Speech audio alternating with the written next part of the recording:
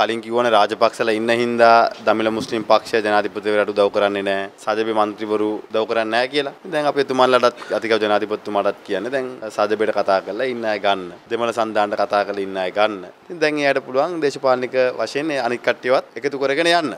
අපි මේ පුද්ගලයෝ කේන්ද්‍ර කරගෙන දේශපාලන තීන්දුව ගන්නේ නැහැ. සමහරව වාදක් කරන්න හදනවා මේ නාමල් රාජපක්ෂ හෝ යම් පිරිසක් විසින් ගත්තු තීන්දුවක් කියලා නෑ. ඒක පැහැදිලිවම කියන්න ඕනේ මේ දේශපාලන මණ්ඩලය නාම රාජපක්ෂ පත් කරපු දේශපාලන මණ්ඩලයක් නෙවෙයි. ඒකේ මම ජාතික සංවිධායකවරයා කරා මට තියෙන වක්කීම පක්ෂය ආරක්ෂා කර ගන්නේ පාක්ෂිකය ආරක්ෂා කරන එක. හුඟක් කට්ටිය කෑ ගැහුවට අවසානයේ ඡන්දේ ගණන් කරලා බලද්දී බලා ගන්න පුළුවන් වෙයි ශ්‍රී ලංකා පොත්ජන පෙරමුණේ දරුණුම පරාජයද නැත්නම් වෙස්වලා ගත්ත ආශිර්වාදයක් විදියට. සමහර අය රඟපානවා මේක ඉතිහාසය වෙලා තියෙනවානේ. ඒ ඉන්නවා මෙහාට එනවා. ඒ කියන්නේ කලබල වෙන්න දෙයක් නැහැ. අපි අවශ්‍ය වෙලාවට අවශ්‍ය වැඩේ හරියට කරනවා. මහින්ද රාජපක්ෂ ජනාධිපතිතුමා හැර හරි අපි කවුරු ගියත් මේකේ ඡන්ද ගෙනියන්න බෑ.